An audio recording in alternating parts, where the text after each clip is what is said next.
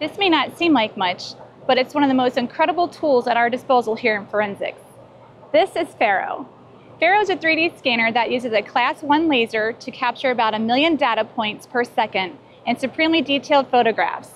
These data points create accurate measurements up to 1,082 feet. For crime scenes, this is huge. FARO combines all these photos and data points to create a 3D model with exact measurements, essentially recreating a crime scene you can revisit and walk through. This allows detectives, attorneys, and even juries to get a fully immersive experience of the crime scene and all the evidence exactly as it was found.